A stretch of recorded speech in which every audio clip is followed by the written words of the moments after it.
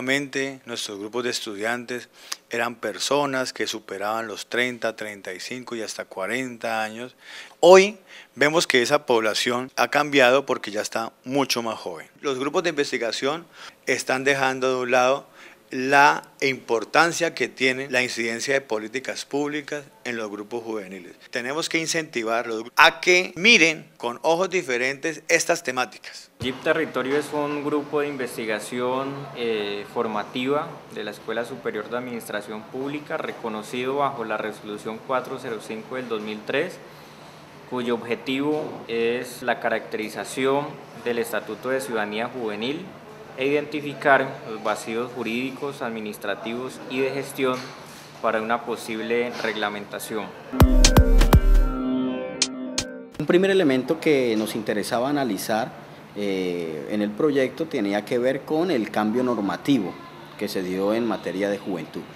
Uno, por la derogada ley 375 de 1997 y el otro por la 1622 del 2013 llamada el Estatuto de Ciudadanía Juvenil. La metodología para el análisis del Estatuto de Ciudadanía Juvenil, la Ley 1622, eh, fue mixta. Se trabajó desde un enfoque cuantitativo y cualitativo.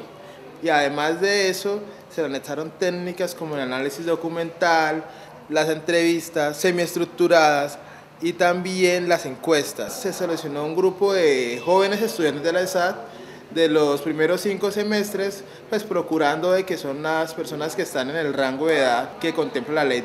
Además de ello, las entrevistas se realizaron tanto al director de la, de la Territorial Valle del Cauca como a diferentes personalidades de la administración departamental y municipal, así como jóvenes integrantes de organizaciones. Como resultado de las encuestas encontramos un desconocimiento frente a la normatividad juvenil esto lo pudimos percibir en los estudiantes de, los, de la ESAP. Caso contrario, eh, con las organizaciones juveniles, los MJs, donde tienen un conocimiento más estructurado de la norma, esto debido al rol que realizan cada día. Es una, una parte que, que ha salido del Estado para reconocer los derechos, los deberes de los, de los jóvenes. El Estatuto de Ciudadanía Juvenil es la hoja de ruta para el Estado colombiano en materia de garantía de derechos civiles y políticos para la población joven.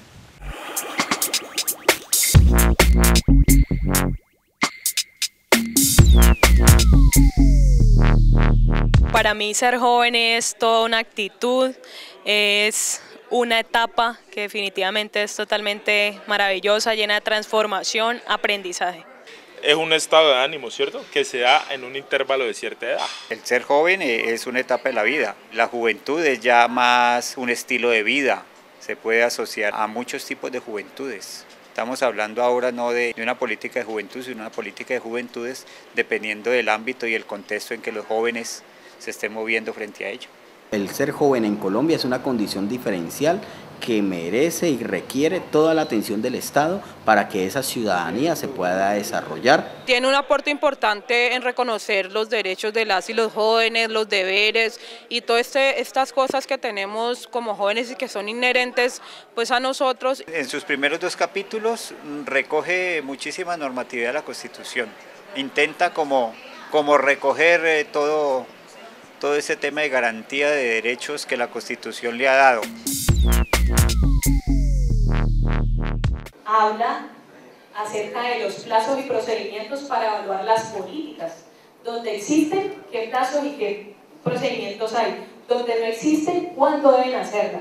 Eh, nuestra principal crítica era que se perdía la autonomía regional frente al tema de elección de consejos de juventud y, y la ley lo ratifica. En este momento el Valle del Cauca no tiene consejos municipales de juventud, a excepción de Buenaventura que se había elegido atípicamente, precisamente porque no tenemos la potestad de elegirlos.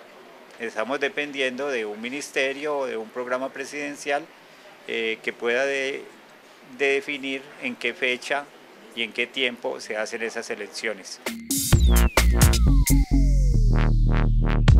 La ley 1622 contempla un sistema nacional de juventud, el cual está conformado por tres instancias.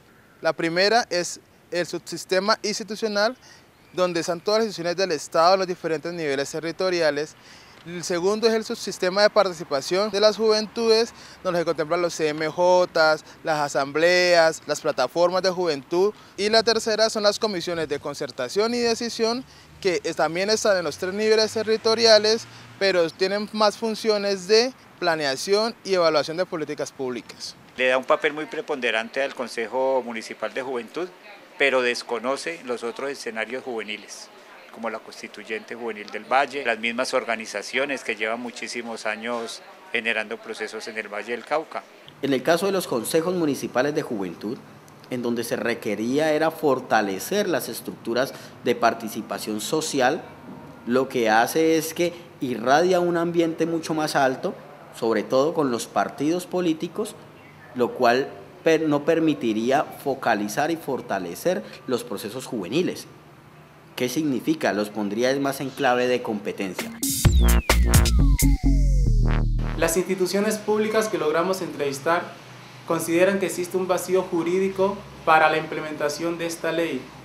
Si no se toman acciones para la implementación, no se puede garantizar los derechos a los cuales los jóvenes tienen acceso. Para mí el Estatuto de Ciudadanía Juvenil es un documento que no mejora pues la actual situación de las y los jóvenes del, del, país porque igual vemos que tiene muchísimos vacíos jurídicos que se hizo pensando en partidos políticos y que de cierta forma se, se pierde como esa parte social o esa parte de bienestar de las y los jóvenes. Fue un proceso que se hizo en la ciudad de Bogotá con jóvenes de partidos, eh, con participación de, de algunos jóvenes de los territorios pero no era la representatividad que dio la ley 375 cuando se construyó.